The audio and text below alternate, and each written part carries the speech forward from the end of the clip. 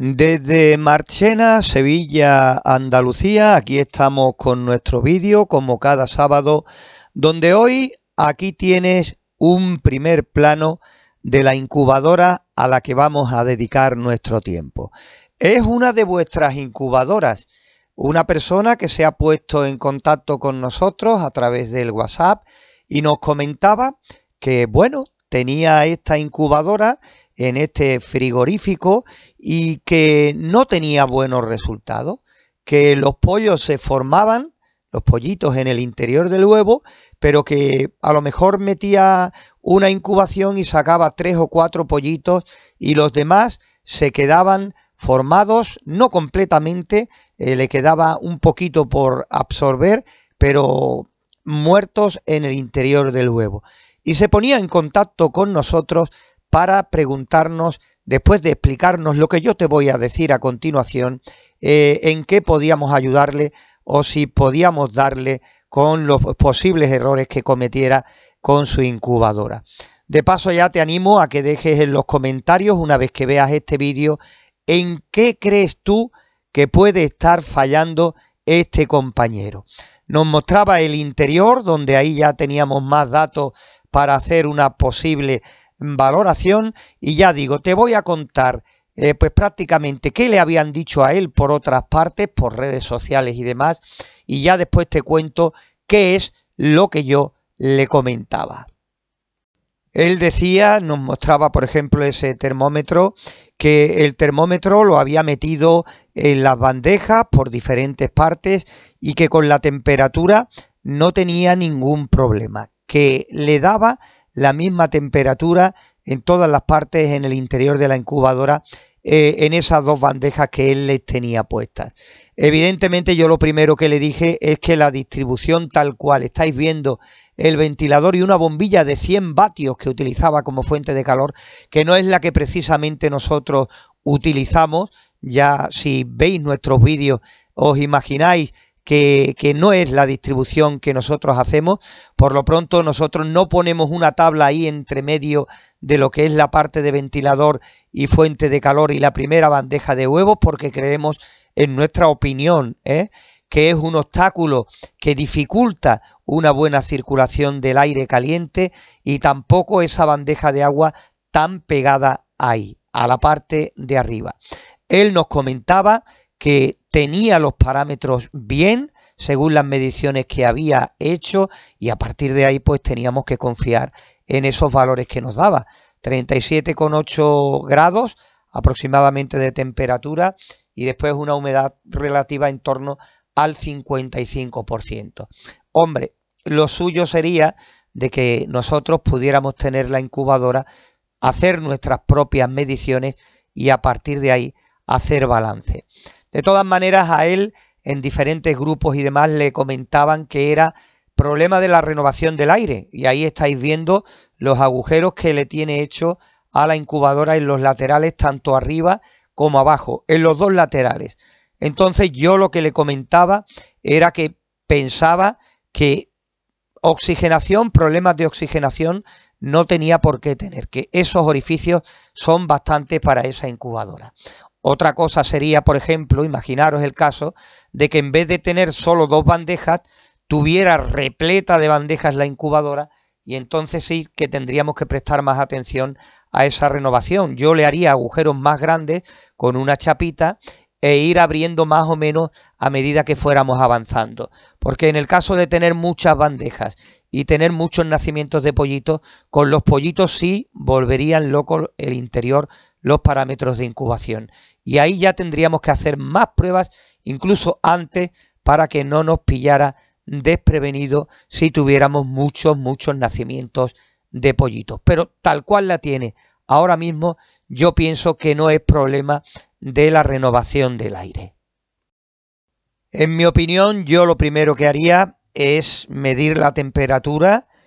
con mis medios en la bandeja en distintas posiciones y por supuesto a partir de ahí también la humedad relativa. Es lo primero que debemos hacer en este caso y vamos en todos los casos donde eh, no hemos obtenido buenos resultados. Pero claro, eso no es posible y hay que confiar en el compañero. Lo que sí le recomendé es que al medidor de humedad relativa le hiciera la prueba del trapo húmedo, en eso quedamos, porque es una prueba sencilla, ya lo explicamos también en diferentes vídeos en nuestro canal y con eso nos aseguramos de que nuestro higrómetro no nos está engañando. Igualmente tener algún termómetro más de referencia digitales, por ejemplo, que nos marcan esas variaciones, esos picos de temperatura y así tener otra opinión más. Por ejemplo, un pollito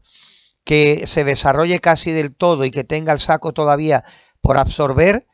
un síntoma puede ser que haya tenido una temperatura de incubación baja, que no haya llegado a desarrollarse eh, a tiempo y que en cualquier eh, periodo o estado de la incubación pues ya no haya sido compatible con la vida y se haya quedado en ese momento de la incubación, ¿no? Pero ya digo, es lo primero que yo miraría. A partir de ahí, pues si quieres dejar tu opinión, eh, será igualmente bien recibida y tendremos más datos, más puntos de vista para valorar esta incubadora de nuestro compañero que se ha puesto en contacto con nosotros, pues pidiendo ayuda, pidiendo eh, un camino a seguir para intentar solucionar ese problema de incubación. Él decía lo de cambiar las bombillas, ponerle otra porque tiene ahí un portalámpara, eh, modificar el lugar donde tiene el agua, ponerla abajo, pero es lo que yo le comentaba, si tal cual está,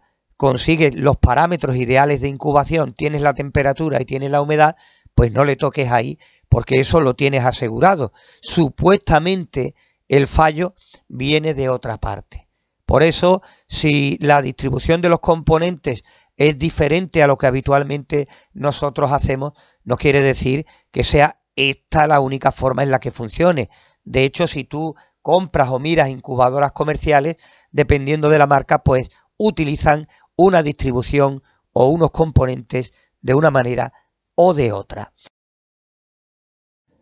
Ahora cambiando de tema, fijaros un cartel que caía en nuestras manos recientemente y que era de un concurso de exposición de palomas deportivas de raza que se va a celebrar próximamente en la vecina localidad de Utrera. Vamos a hablar bastante de Utrera en este vídeo porque te quiero comentar esto y otra cosita un poquito más adelante. Primero, de palomos.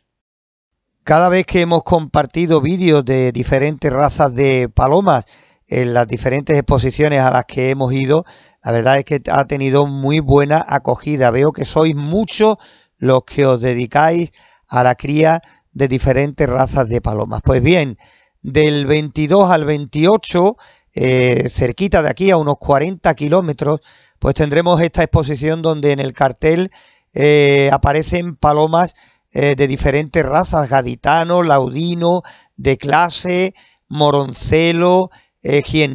colillano, rafeño, eh, valenciano, pues todas estas razas estarán presentes en esta edición, que es ya la 39, o sea que llevan muchos años celebrándose. Y si podemos y nada nos lo impide, intentaremos estar allí para compartir todo lo que haya con vosotros aquí en nuestro canal. Incluso si podemos y vemos allí un poquito el ambiente, pues hacer un directo y compartir con vosotros en directo eh, pues lo que estemos viendo en ese momento en este concurso de exposición. Aunque ya después con más tranquilidad pues grabemos eh, los ejemplares que estemos viendo por allí. Pero muchas veces nos encontramos con un pequeño problema cuando vamos a las distintas exposiciones y es que pretendemos hacer directo, que no se nos olvida, pero resulta que en más de una ocasión estamos en zonas donde la cobertura casi no existe o es malísima y nos ponemos a hacer directo y el vídeo va lento, se entrecorta, eh, tenemos que esperar un montón a que recupere la cobertura y así andamos muchas veces en lugares donde se desarrollan los concursos y exposiciones muchas veces son eh, en los extrarradios, en los exteriores de, de las localidades y por lo visto, pues muchas veces en zonas de mala cobertura. Pero ya decimos, sabemos que hay muchos aficionados al mundo de las palomas, a la columbicultura, e intentaremos estar allí y contaros pues todo lo que vayamos viendo en ese salón donde se va a hacer la 39 edición. Ha caído en nuestras manos por casualidad este cartel, por unas amistades de unos familiares que son precisamente de allí, de la vecina localidad de Utrera. Está aproximadamente a unos 40 kilómetros de aquí e intentaremos echar la mañanita pues disfrutando de todo esto que nos gusta e intentando compartirlo con todos vosotros.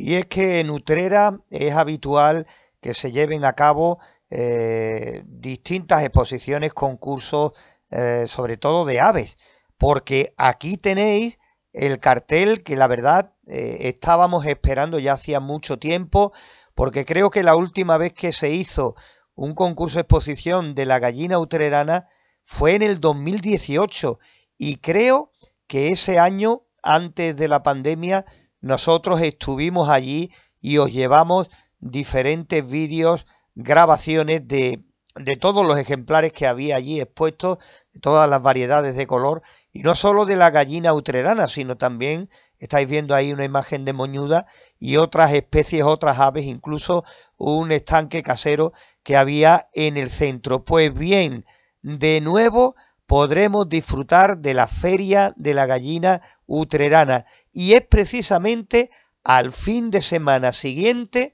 de cuando se va a celebrar lo de las palomas y también será en Utrera.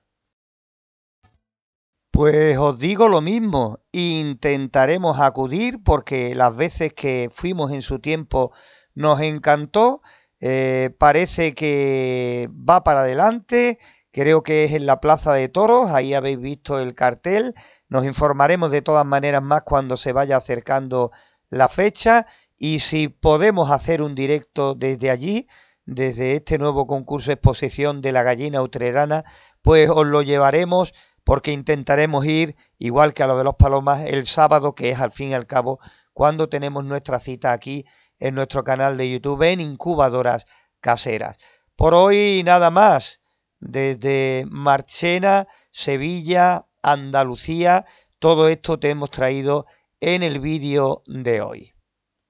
Y recordándoos aquí también al final del vídeo que si queréis dejar vuestro comentario diciéndole a nuestro compañero qué opináis de lo que os hemos comentado, de cómo podemos eh, mejorar para conseguir resultados con esta incubadora en un frigorífico, que podréis hacerlo eh, y así él podrá mirar en los comentarios y nosotros también pues diremos algo por ahí cuando nos pongamos como cada fin de semana a contestar eh, pues todas las preguntas que vais dejando a pie de vídeo. Un saludo, muchas gracias por estar ahí y hasta el próximo vídeo.